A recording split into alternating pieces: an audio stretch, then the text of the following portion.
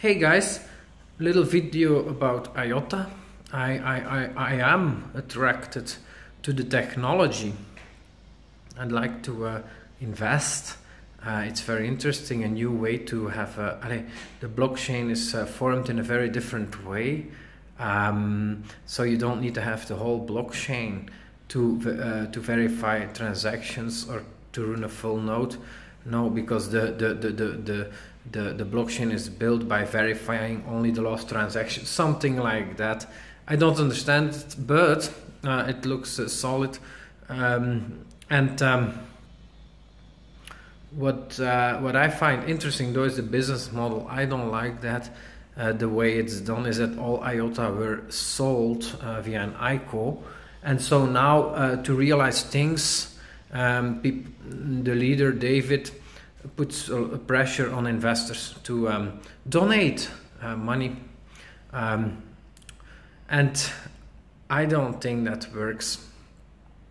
It's a, it's a tragedy of the commons uh, problem that you're creating um, uh, because those that uh, donate are helping everyone. Uh, uh, and those that don't donate are profiting equally from those that donate and so it makes economical sense not to donate eh? and to just uh, free ride and um, and then you can put a lot of pressure on people by calling them names and and and, and uh, but that's just not uh, that's not that's not even you're never gonna convince uh, everyone to donate um, and, and, and, and, and, and if you use um, uh, and if you start name calling people, then it just puts a negative atmosphere in the community. This is not how business is built. Um, yeah, so um, in cryptocurrency, this won't work either. I don't believe in this, and uh, that's why um, uh, I also sold uh, NXT at the bottom because I I realized it lacked a business model. Eh? They have solved that by doing ICO, inflating the supply of coins and using these coins to pay developers and marketing. That's how you do it.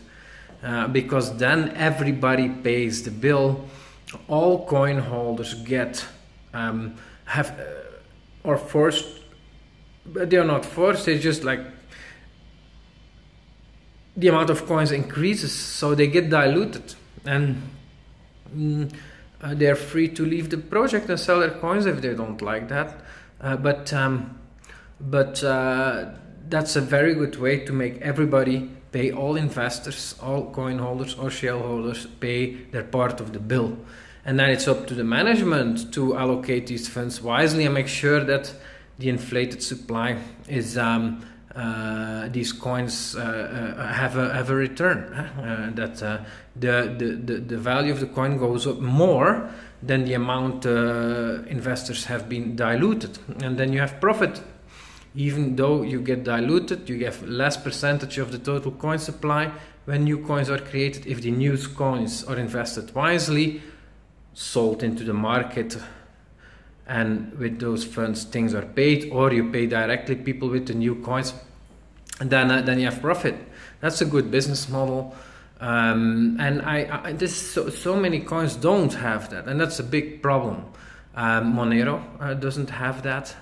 Bitcoin does not have that. Litecoin does not have that. Dogecoin does not have. They, they all don't have a business model. So there is no there there's no money for developers. This is a very big problem.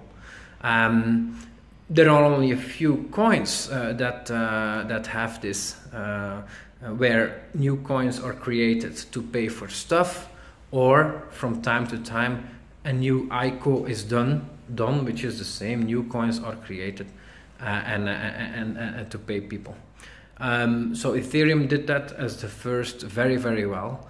Um, but Dash is also doing that, but not that well in my opinion, because the amount of new coins created is very low at least the amount of new coins that go to developers because if you just create new coins that go to people that validate transactions as is the case in dash most new coins go to the uh, validator of transactions. That's not uh, paying developers that develop the coin, and that's not paying uh, marketeers neither. Mm-hmm. So only about 10% of the new coins, maybe 20%, go to pay for developers and pay for uh, marketing and that's a very low amount eh? because okay you have only let's say 10% inflation uh, and uh, only 10% of the inflation goes to develop, uh, development so that's only 1% of the value of the coin per year that goes to the developers that's just too low way too low eh? with ethereum this is a lot higher eh? so so um, i don't know exactly but so so so um, and yeah, new coins that start the same way as old coins uh, without a business model and putting trying to put pressure on people to uh, to donate to make things going this is really not a good model so due to that i'm not going to invest in iota um, of course some other coins like it is possible to that things get developed this way if the founders have a lot of coins. Eh?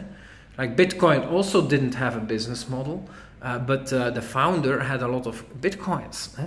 and so was motivated financially to continue to work on it, even though he didn't get paid or got very little donations.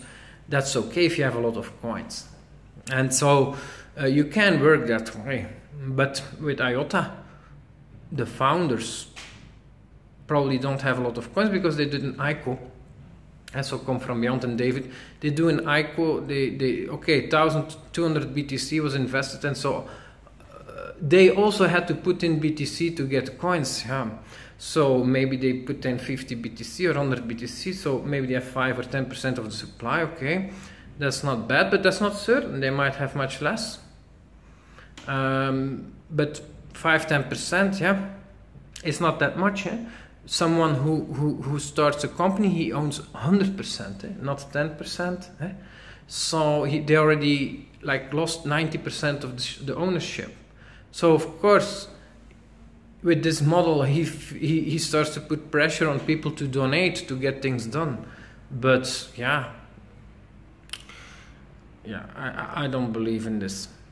So, um, uh, with uh, with Satoshi, for example, from Bitcoin, uh, the founder, he he started mining uh, as the first a lot, and so today he has one million. That's maybe only like eight or seven percent of supply, but he hasn't been mining for very long, uh, for many many years. In the beginning, he probably had like fifty percent of the supply of Bitcoin uh, that he owned, and then maybe forty percent and thirty percent. Those were the amounts that he owned himself when he was working on the project. And so I'm considering investing in Monero, but I have no idea. They also lack a business model and they have an inflation like Bitcoin, but all the uh, new coins go to just miners, validators of transactions. Uh, so I don't know how it's working there. They don't have a graphical user interface after three years or two years. This is an indicator that there is a big problem, that there is a problem uh, within the development to get things done, uh, which is not a surprise when uh, when you don't have uh, a proper business model to pay for development, um, and it's all dependent on donations. Um, so, uh, what else uh, do we have in the market that's interesting?